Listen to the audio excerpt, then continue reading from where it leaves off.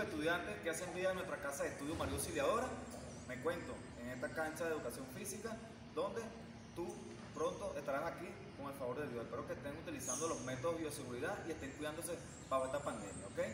Tu segunda clase se trata de los juegos tradicionales. Los juegos tradicionales son juegos propios de cada región, juegos autóctonos que identifican un lugar. Es por ello que en nuestro país Venezuela existen diversos juegos tradicionales, como por ejemplo la metra. La metra es un juego de unas canicas también llamadas, pueden ser de vidrio, barro o cerámica. Esto consiste en lanzarla de una manera particular con las manos y golpear una metra u otra. Existe otro juego llamado palo encebado.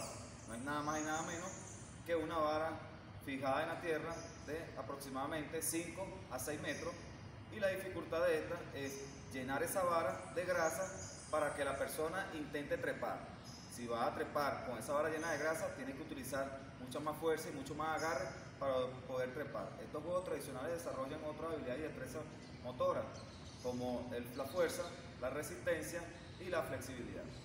Es por ello que también entra en juego otro juego tradicional llamado la cuerda.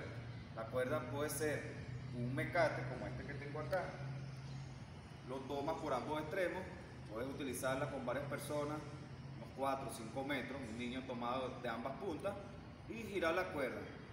Consiste en no tropezar la cuerda con los pies o con cualquier parte de tu cuerpo. La persona que lo tropiece automáticamente será descalificada. Es por ello que debe tener precisión a la hora de saltar, fuerza y constancia. Observa cómo se trata esto.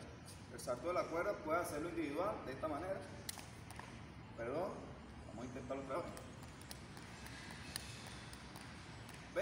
Puedes saltar repetidas, repetidas veces, 40, 50 veces, lo que tu cuerpo te, exija o lo que tu capacidad física pueda conservar o pueda desarrollar. Es por ello que este salto de cuerda lo utilizan en muchos deportes de resistencia porque a la hora de saltar las piernas adquieren una fortaleza y adquieren una fuerza para maximizar tu potencia.